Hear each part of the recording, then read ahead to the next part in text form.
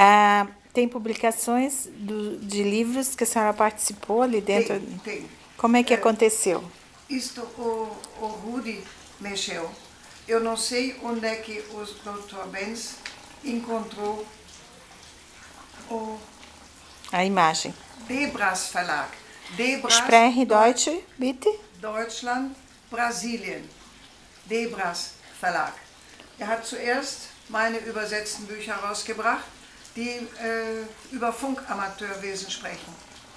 Nós pedimos para Dona Alda falar alemão porque o editor da revista vai olhar a Dona Alda, que foi uma, ah, ela contribuiu de maneira indireta através do seu filho com material para a primeira edição da revista Weltruf. Weltruf, Welt- cujo editor é o Dr. Ben. ben.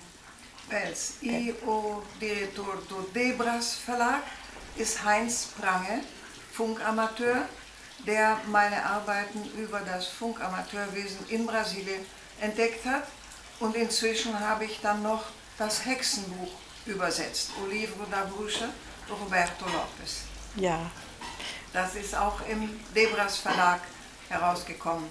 Und über äh, meine Arbeit im Debras Verlag ist dann auch Dieter Ja. Kerkhoff zu. Dieter Kerkhoff ist in Rio Grande do Sul für die Kolonisation von São Leopoldo Ja. und Also, die Veröffentlichung dazu verantwortlich. E a Dona Alda está do lado da árvore Tannenbaum, que ela acabou de, de decorar. A senhora quer falar um pouquinho da árvore de Natal em português e, e, e- e alemão? É, a árvore de Natal, o que, que se fala? É ver ela Qual é a peça mais antiga que tem da árvore? As peças mais antigas que nós temos, eh, nós perdemos uma vez toda a decoração na enchente, mas sobraram muitas coisas. Por exemplo, isto aqui foi cuidadosamente lavado. Tem peças da sua avó ali? Tem, tem. Und das älteste sind diese Ketten. Die waren so dick, so rund, ganz äh, wollig, aber die haben vier Wochen im Hochwasser gelegen. Wir haben sie dann sorgsam gewaschen und auf unserem Rasen getrocknet. Sie sind eben nur eingegangen, aber für uns ist es immer noch eine Erinnerung an unsere Kinderzeit, an die Großeltern, an die Eltern und an unseren Weihnachtsbaum. Por motivos diversos, dona Alda nos contou que é a primeira vez que o Tannenbaum da família ah, Niemeyer não é uma árvore na-. É natural. a primeira vez na minha vida, de 95 anos, que eu tenho uma árvore de Natal artificial. Mas eu creio que nem aparece. Nem Ela- aparece. E não é por vontade, mas não deixa de fazer a casa toda cheirando Stollen, ah, docinhos de Natal. Was ist das docinho de Natal em Deutsch? Weihnachtskuchen, Ja. Weihnachtsplätzchen, Honigkuchen, Pfeffernüsse. Tá fazendo as amostras ali na cozinha para que na semana do Natal faça realmente aquilo que vai servir a família, que vai se reunir toda aqui na todos aqui na sala da Dona Alda. Que é uma Dois tra- anos atrás tinha netos e bisnetos aqui e a gente nem sabia onde pisar. Ou pisava num brinquedo ou pisava numa criança. E como é que acontece a festa?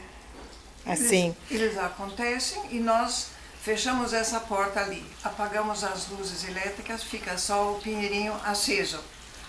E um dos meus netos, primeiro eram filhos, agora são os netos, leem o Evangelho, isso não falta.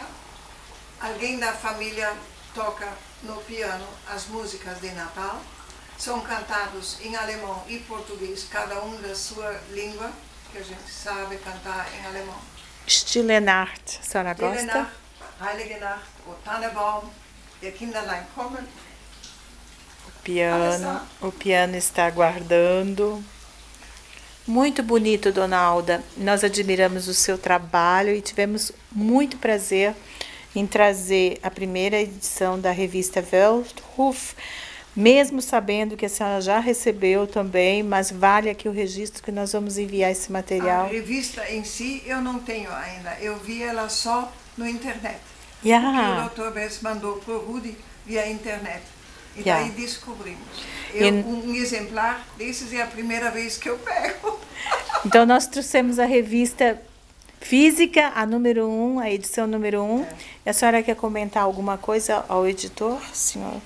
Ich finde das ganz wunderbar, dass sich jemand in Deutschland dafür interessiert, was an Deutschtum im Ausland erhalten wird. Es gibt so viele Dinge, die wir noch kennen, die die junge Generation in Deutschland nicht mehr kennt. Ich habe keine Familie mehr in Deutschland, bin die vierte Generation in Brasilien, aber ich habe sehr, sehr liebe Freunde in Deutschland. Und ich wundere mich immer, was ich noch kenne an alten Volksliedern, die die Jugend in Deutschland nicht mehr singt. Oder Gedichte zum Beispiel. Wenn, die wundern, mich, wundern sich immer alle, wenn ich anfange, Eugen Roth oder Ringelnatz zu rezitieren, weil ich das alles noch kenne. Ich bin damit groß geworden.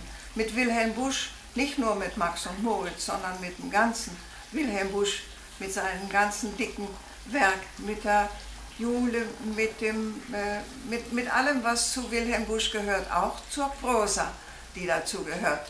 Wenn ich zum Beispiel daran denke, wie viel Gutes passiert einem in der Jugend, worauf man im Alter nicht mehr mit Re Sicherheit rechnen kann, sagt der Punkt, den der gute Wilhelm Busch herumfliegen lässt, wie viel Gutes passiert mir noch im Alter mit 95 Jahren, dass ich erlebe, dass ich den Weltruf in der Hand habe, dass ich in der, in der Lage bin, einen Weihnachtsbaum für meine neuen Enkel und meine neuen Urenkel aufzustellen.